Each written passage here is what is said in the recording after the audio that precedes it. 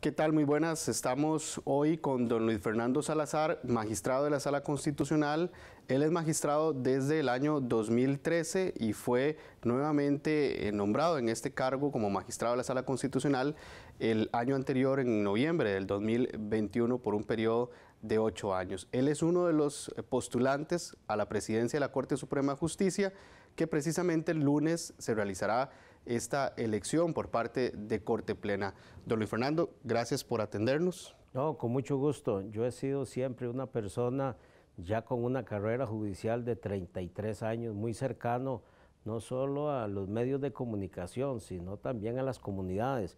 Así es que todo lo que es acercar un mensaje al pueblo, a las comunidades y al usuario de la Administración de Justicia, al fin y al cabo a ellos nos debemos, así es que encantado de estar con ustedes. Gracias, don Luis Fernando. La pregunta inicial es, ¿por qué? ¿Por qué decide postularse a la presidencia de la Corte?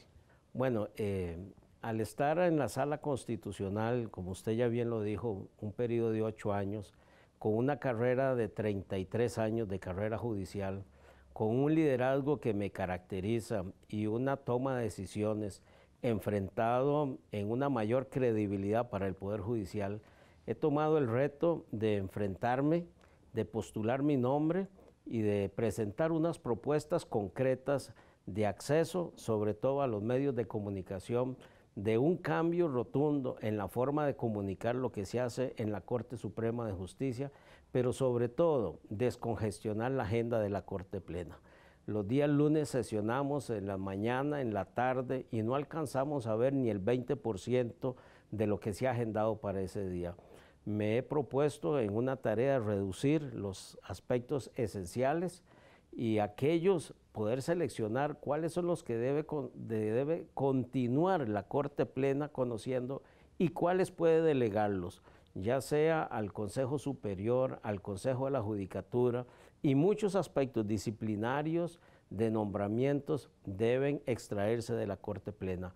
Yo con ese liderazgo, con ese diálogo, lo que ofrezco es buscar esas soluciones para ver cuál es la mejor forma de que reduciendo los plazos de espera, no solo de la Corte, sino de los procesos judiciales, logremos por parte del ciudadano una mayor credibilidad a lo que nosotros hacemos a lo interno de la Corte Suprema de Justicia y por supuesto del Poder Judicial.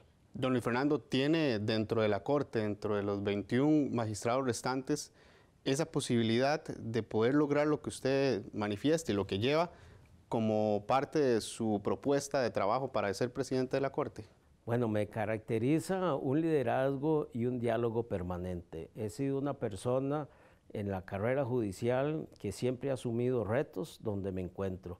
A raíz de diálogo y de negociación fui juez coordinador del juzgado de trabajo de Goicochea, fui, también en ese periodo juez coordinador del Tribunal Superior de Trabajo. Y en mi magistratura de estos ocho años tengo un respeto, un liderazgo en las posiciones que he asumido dentro de la Corte Suprema de Justicia y sé que mis 21 compañeros restantes darán el apoyo a todas aquellas políticas que busquen reducir la mora judicial, reducir los tiempos de espera en todos aquellos procesos, sobre todo los que tienen una mayor connotación social, como en materia laboral, en materia familia, pensiones alimentarias y sobre todo donde está en juego la libertad de las personas, como es en materia penal.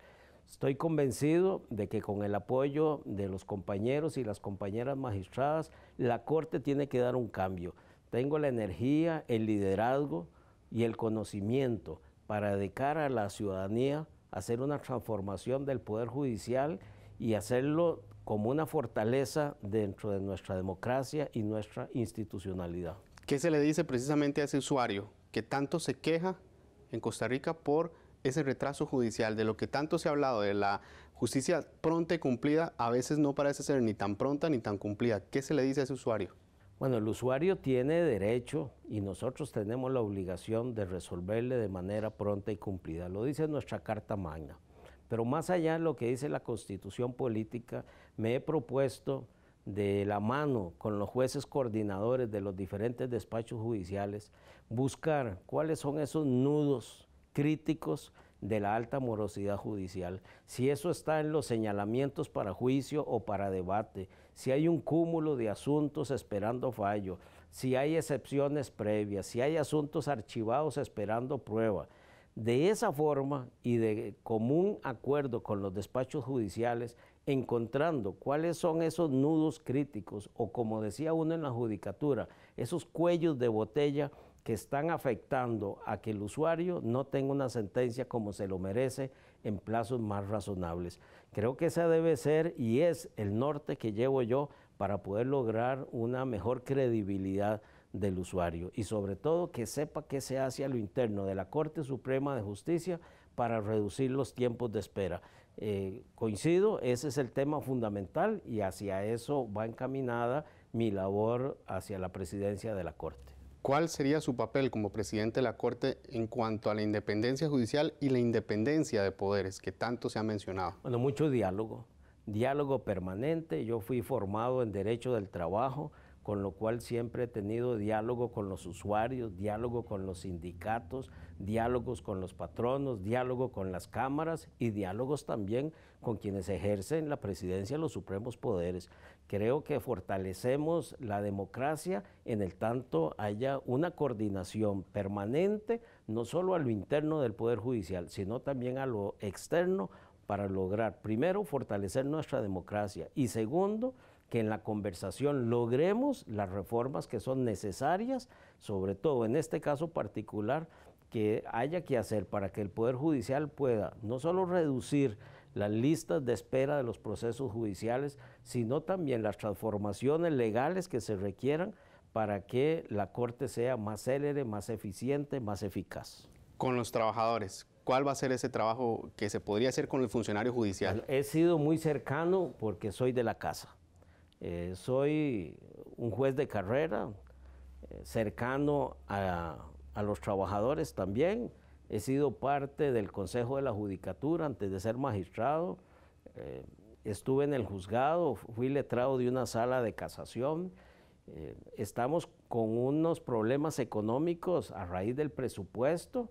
Tenemos que lidiar con lo que tenemos, pero creo que al funcionario judicial hay que rescatarle la mística y esa mística se logra con diálogo permanente, cuáles son las necesidades que tiene, no solo el usuario en requerir una sentencia más rápido, sino cuáles son las necesidades de nuestro usuario y además de nuestros empleados judiciales, que son los que al fin y al cabo se debe la institución, para que podamos con ellos, de común acuerdo, reducir esos plazos y con las necesidades económicas o las limitaciones que podamos tener, reducir esos plazos de espera.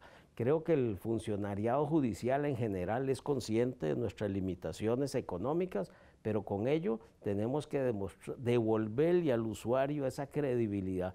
El empleado judicial es consciente que lo tenemos que hacer y creo y estoy convencido de que todos en el Poder Judicial hacemos un trabajo con mística, con esfuerzo, con sacrificio y dos cosas, hay que reducir esos tiempos de espera, pero además saber comunicar.